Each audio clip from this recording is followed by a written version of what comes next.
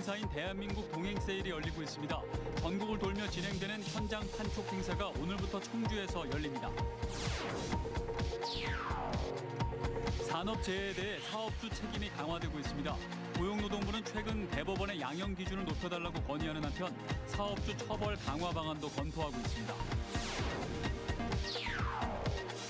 괴산 유기농 엑스포가 두 번째 국제 행사 개최를 추진하고 있습니다. 정부의 국제 행사 승인 여부 결정을 앞두고 괴산 군민들이 뭉쳤습니다. 청주 국제공항을 거점으로 하는 에어로케이가 본격 운항을 앞두고 공식 유니폼을 공개했습니다. 국내 항공사 중 최초로 성별의 구분을 없앤 젠더리스룩 유니폼을 채택했습니다. 여러분 안녕하십니까. CJB 8시 뉴스 시작합니다. 코로나로 얼어붙은 내수를 되살리기 위한 정부 주도의 대규모 할인 행사, 대한민국 동행 세일이 열리고 있습니다. 주요 백화점과 마트, 전통시장과 소상공인이 대거 참여하는데 전국 6개 도시를 돌며 진행되는 현장 판촉 행사가 오늘 청주에서 사흘 일정으로 개막했습니다. 진기훈 기자입니다. 청주 도심 광장에 마련된 대한민국 동행 세일 현장 행사장에 시민들이 북적입니다. 충청권에선 유일한 현장 행사입니다. 지역 특산품과 화장품, 마스크 등 지역 소상공인들의 상품을 비롯해 뷰티, 가전, 전자기기 등 우수 중소기업 58곳에서 만든 다양한 상품들을 시중 가격보다 30에서 40%가량 싸게 살 수 있습니다.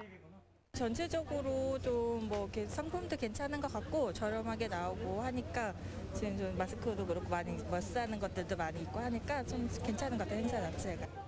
또 우수 중소기업 상품은 QR코드를 찍어 모바일로 바로 구입할 수 있습니다. 인터넷 쇼핑하면 샘플을 볼 수는 없잖아요. 근데 여기서 직접 사기도 하고 대신 판매자랑 접촉 없이 택배로 받는 거니까 더 안전한 것 같아요. 코로나로 직격탄을 맞았던 소상공인들도 모처럼 활기를 찾은 모습입니다. 모두 힘든 시기에 또 응원차 이렇게 나와주셔서 한국 와인 맛보시고 정말 농산물도 그렇고 신선한 그런 것도 맛보시는 기회가 되셔서 많이들 좋아하시는 것 같아요. 네. 저 역시도 기쁩니다. 지난달 26일부터 오는 12일까지 열리는 대한민국 동행 세일. 파격 할인, 경품 행사 등 대대적인 소비자 유인책으로 얼어붙은 소비를 살린다는 계획입니다. 정부와 지자체가 준비한 대규모 현장 행사는 지난주 부산과 대전에서 출발해 이번 주 전주와 청주를 찾았습니다. 전국 전통시장과 대형마트, 백화점 등도 식품과 생활용품 등 다양한 제품의 대규모 할인 행사에 들어갔고 온라인 쇼핑몰에서도 기획전을 통해 최대 87%까지 할인 판매가 진행됩니다. CJB 뉴스 진기훈입니다. 코로나19로 침체된 전통시장의 활성화를 위해 충청북도와 도내 각 시군이 손을 맞잡았습니다. 굿바이 코로나, 굿바이 충북이라 이름 붙인 충북판 동행 세일을 통해 대대적인 소비 진작에 나섭니다. 구준회 기자입니다. 코로나19는 지역 경제의 구심점인 전통시장에 직격탄을 날렸습니다. 손님들의 발길이 준 만큼 수많은 소상공인과 서민 경제가 눈에 띄게 위축됐습니다. 13년째 식당을 운영해온 정기환 씨는 올해 같은 매출 급감이 처음입니다. 매출이 한 50% 이상 줄었고요. 지금 일부 품목은 저희가 손님이 줄은 관계로 지금 현재 메뉴에서 빼고 있거든요. 그래서 타격이 많죠, 저희가 지금. 덕분에 고맙습니다. 충청북도와 시군, 상인들이 침체에 빠진 전통시장을 되살리기 위해 힘을 합쳤습니다. 충북판 동행 세일이라고 할 수 있는 굿바이 코로나, 굿바이 충북 행사를 10월까지 진행합니다. 이 기간 일주일 안팎의 행사를 여러 차례 마련해 파격적인 할인과 다양한 혜택을 제공합니다. 청주를 제외한 10개 시군에서 14개 전통시장과 상점가가 상권 회복을 위해 행사 참여를 신청했습니다. 3만 원 이상 사시면은 5천 원짜리 상품권을 드리고 6만 원 이상 사시면은 5천 원짜리 상품권 두 매를 드려가지고 그 상품권으로다가 다시 우리 시장에서 상품을 재구매하는 이를 위해 도화 시군이 반반씩 예산을 부담하고 상인의 자부담까지 포함해 모두 11억 천여만 원을 투입합니다. 코로나19로 침체된 상권 활성화에 마중물이 될 것으로 기대하고 있습니다. 소비가 미덕이다. 아, 소비가 아, 제대로 잘 돼야지 예, 국가의 경제가 잘 활성화된다. 이런 측면을 이해해 주시고 함께 동참해 주실 것을 충청북도와 시군은 앞으로도 지속적으로 다양한 소비 진작책을 모색할 방침입니다. CJB 뉴스 구준혜입니다. 산업재해가 많은 우리나라 현실에 대해 반성과 개선을 촉구하는 목소리가 갈수록 커지고 있습니다. 법원 판결도 과거엔 사망사고를 일으켜도 벌금형에 그치는 경우가 대부분이었지만 요즘은 분위기가 달라지고 있습니다. 박원 기자가 취재했습니다. 지난해 9월 진천군 덕산읍의 한 제조업체 건물 증축 공사 현장에서 근로자 두 명이 철제 구조물 위에서 용접을 하다 5m 아래로 떨어져 숨졌습니다. 산업안전보건법에서는 추락 위험이 있는 곳에는 안전조치를 해야 한다고 명시하고 있지만 당시 사고 현장에는 추락 방지망이나 작업자들을 지탱해줄 안전장치들이 없었습니다. 청주지방법원 1심 재판부는 사업주 A씨에 대해 산업안전보건법 위반 등의 혐의로 징역 2년에 집행유예 3년을 선고했습니다. 재판부는 A씨가 공사 현장에 추락 방지 시설을 설치하지 않았고 사고 직후 안전 로프를 설치하도록 지시해 원래부터 있었던 것처럼 현장을 훼손했다고 지적했습니다. 실형이 나오진 않았지만 기존의 벌금형 관행보다는 엄격해진 형량입니다.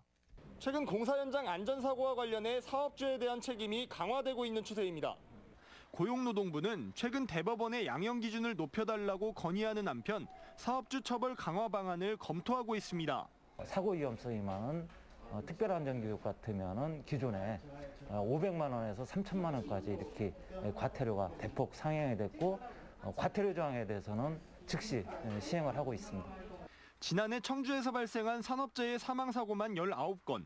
처벌을 떠나 소중한 생명을 지키기 위해서라도 공사장 안전 수칙은 철저히 지킬 필요가 있습니다. CJB 뉴스 박원입니다. 괴산 유기농 엑스포가 2015년에 이어 오는 2022년 두 번째 국제행사 개최를 추진하고 있습니다. 정부의 승인 여부 결정을 앞두고 괴산 국민들이 다시 한번 신발끈을 조여맸습니다. 조용관 기자입니다. 국제 행사 승리원 승리원 승리원 7년 만에 두 번째 세계 유기농 엑스포 개최를 위해 괴산 국민들이 뭉쳤습니다. 농민과 여성, 유기농 관련 단체장으로 구성된 민관 추진협의회는 2022년 괴산 유기농 엑스포의 국제행사 승인과 성공 개최에 마중물이 될 것을 선언했습니다. 2022년도에 하려고 하는 아, 유기농 엑스포의 장은 유기농의 가치를 이제 확실하게 확인을 하고 그리고 유기농업을 더 견고히 해나가고 또 유기농 산업의 토대를 더 많이 K 유기농의 중심지 괴산을 내세운 충청북도와 괴산군도 정부의 결정을 앞두고 젠걸음을 옮기고 있습니다. 2015년 유기농 엑스포 이후 크게 성장한 충북의 유기농업 기반과 두 번째 엑스포 개최에 대한 강한 열망을 대내외에 알리고 있습니다. 유기농이 포스트 코로나 시대에 건강한 먹거리를 주도할 수 있는 대안임을 적극 부각하고 있습니다. 앞서 군은 국내외 친환경 농업 단체와 잇따라 업무 협약을 맺고 지방의회도 건의문을 채택하며 정부 설득에 힘을 보태고 있습니다. 굵직굵직한 국제적으로 하는 그 행사들이 많이 괴산에 있었기 때문에 장소는 아주 좋은 장소고요. K-팝, 뭐 K-뷰티 여러 가지가 있는데 지금 저는 K-유기농으로도 갈 수 있다는 생각이 들고 군수 부재 등으로 국제 행사 추진에 어려움을 겪던 괴산군의 두 번째 세계 유기농 엑스포 승인 여부는 이번 달 말 또는 다음 달 초 결정됩니다. CJB 뉴스 조윤광입니다. 막바지 항공 운항 증명 심사에 들어간 에어로케이가 본격 운항을 앞두고 공식 유니폼을 공개했습니다. 고객 안전을 최우선으로 성별의 구분을 없앤 젠더리스 룩이 눈길을 끌고 있습니다. 안정원 기자입니다. 통기성 좋은 바지에 굽이 없는 운동화, 에어로케이 승무원들이 착용할 유니폼입니다. 기존의 항공사들이 여성 승무원 유니폼으로 고수하던 치마와 구두를 과감하게 없앴습니다. 일할 때 뭔가 조금 조심스럽게 하는 부분보다는 제가 적극적으로 뭔가 행동을 할 수 있게끔 하는 유니폼이고 그 부분이 업무를 함에 있어서 가장 편하지 않을까 싶습니다. 에어로케이는 국내 항공사 중 최초로 젠더리스 룩 유니폼을 채택했습니다. 젠더리스 룩이란 성별 구분을 없애 중성적인 느낌을 주는 옷차림을 말합니다. 여성 승무원의 외형적 특징을 중요시하던 항공 문화에서 벗어나 남녀 구분 없는 활동성 높은 복장으로 승객 안전을 최우선으로 한다는 목표입니다. 그동안에 있었던 항공사들 유니폼이 그렇게 안전에는 그렇게 어, 집중되어 있지 않았다. 그래서 저희가 그런 두 가지를 좀 안전과 문화를 생각하면서 거기에 본질에 충실을 하고 사상 유례 없는 항공업계 불황 속에 취항 날짜가 계속 연기돼 온 에어로케이는 현재 국토부의 항공 운항 심사 마지막 절차를 받고 있습니다. 50시간 이상의 시험 비행까지 무사히 통과하면 8월 중 청주 제주 노선 첫 운항에 들어간다는 계획입니다. 청주 국제공항을 거점으로 하는 에어로케이가 파격적인 유니폼을 승객들에게 선보이며 첫 취항에 성공할 수 있을지 주목되고 있습니다. CJB 뉴스 안정은입니다.